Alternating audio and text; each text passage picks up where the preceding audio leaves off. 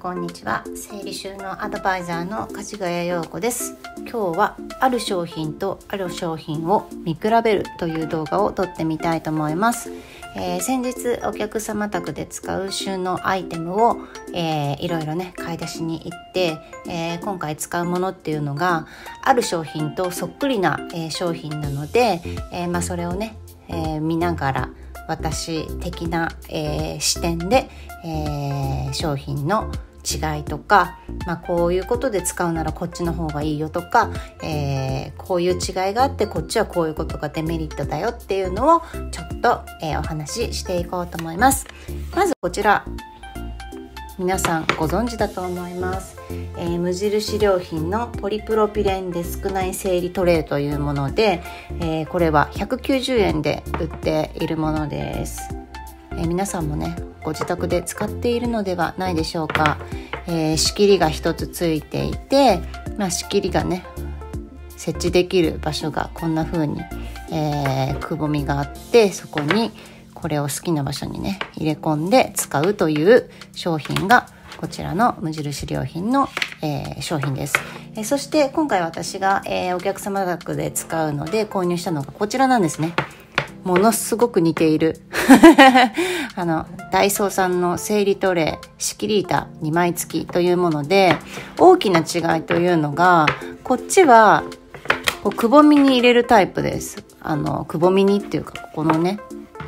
設置するところにこうやって入れていくタイプなんですけどダイソーさんのはスライド式であの好きな場所にこうスライドして設置できるっていうので、えー、このね仕切りが2本ついてるっていうのも特徴の一つなのかなっていうふうに思います。でサイズ的なことを言うとはっきり言ってほぼ一緒です。でえもう一つ付け加えて言うとこの2つ無印とダイソーのこの整理トレーちゃんと重なるんですよ。重なります。こんな風に。面白いですよね。しっかりと重なります。なので、まあ、使い分けて、えー、組み合わせてっていうこともできますしただ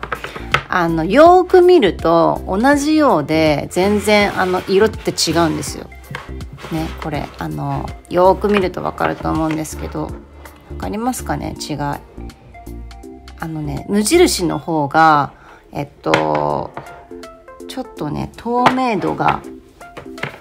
薄い。薄いって透明度が薄いって言い方おかしいですけどちょっと白い。白いですよね。透明と言ってもちょっと白い、えそしてダイソーさんの方は、えより透明です。こうやってなんか指入れるとわかるかも。あ分かりづらいかな。何かねないかな。あじゃあ私の愛用のメガネを。メガネを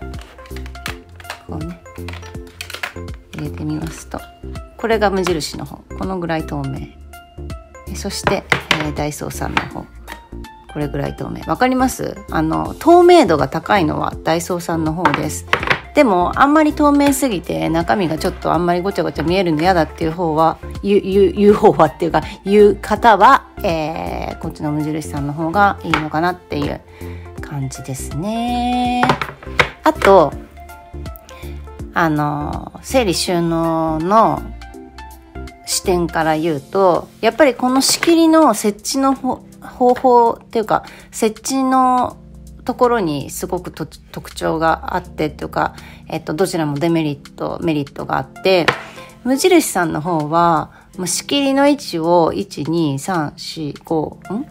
?1、2、3、4、5、6、7、7箇所、こう、決めれるっていうことはあるんですけど、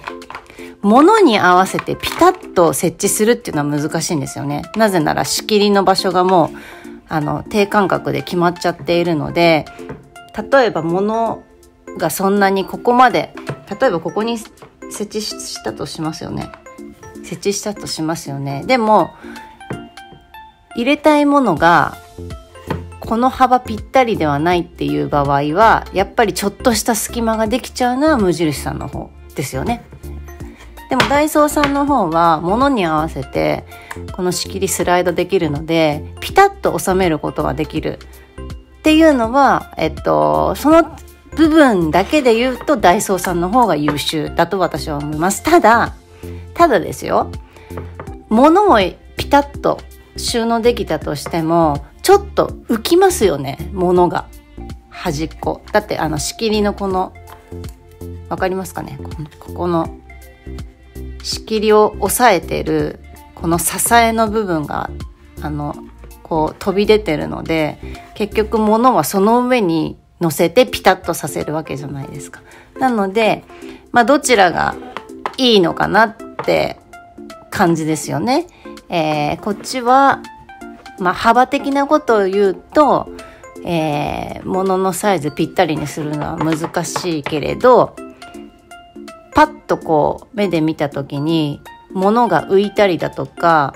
っていうことはないですよねこっちは。でもこっちはえっと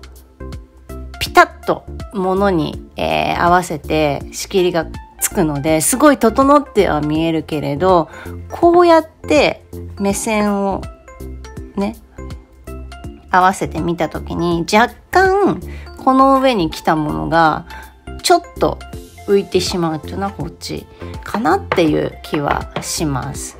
まあ、皆さんが、まあ、収納するものによって絶対これはあのどっち使ったらいいかなっていうのを決めた方がいいのかなっていう気はします。で、まあ、そんなにね持ち運ぶえー、ものに組み合わせて使うっていう場合でなければ全然こっちでいいと思うんですけど、ものと組み合わせてよく持ち運ぶものの中で使うっていうのであれば私はこっちがおすすめかな。やっぱりしっかりとあの仕切りが支えられるので、あの、カチャッと入れるので、これ動きづらいですよね。無印の方が。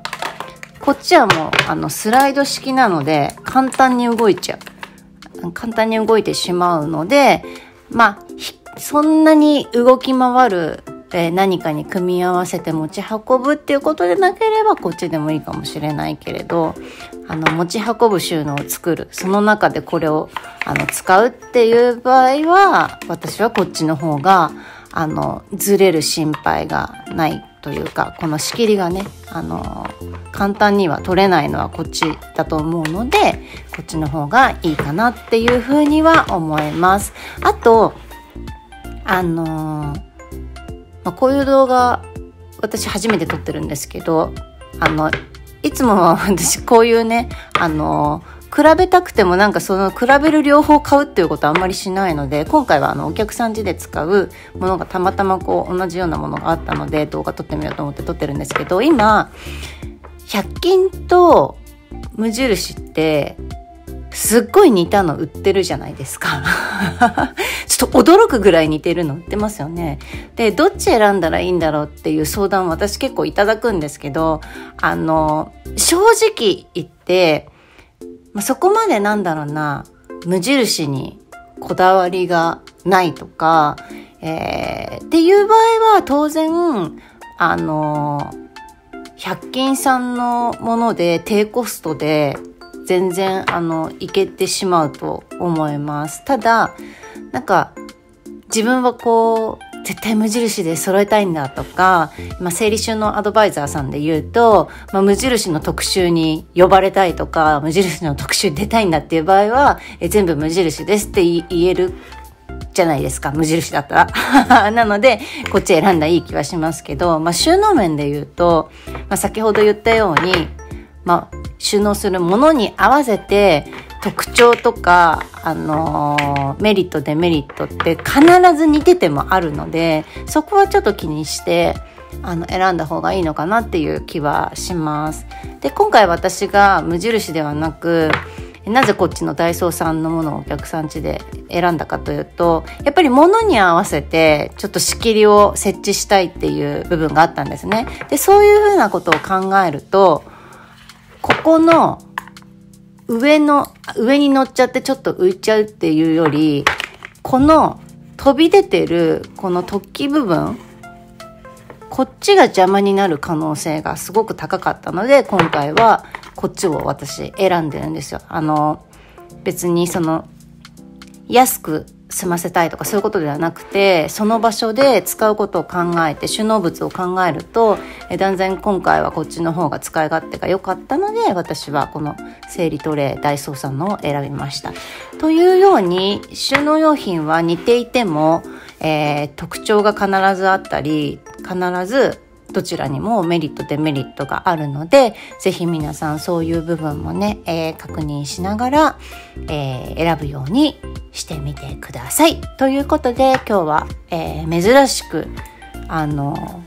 ね収納の用品を見比べるという動画を撮ってみました。ということで、えー、じゃあまたこんな機会があれば撮りたいと思います、えー、それでは皆さん本日もご視聴いただきありがとうございました、えー、素敵な一日をお過ごしください。それでは皆さんまた会いましょう。さようなら。